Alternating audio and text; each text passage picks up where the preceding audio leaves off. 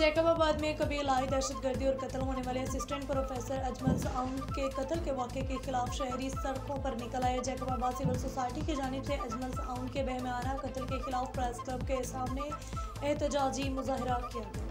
Civil society की जानब से अजमल साउंड के बहमियाना कत्ल के खिलाफ प्रेस क्लब के सामने एहतजाजी मुजाहरा किया गया। मुजाहरे में मुख्तलिफ़ सियासी, समाजी, मजहबी रहनुमाओं शहरीों ने कसर तादाद में शिरकत की।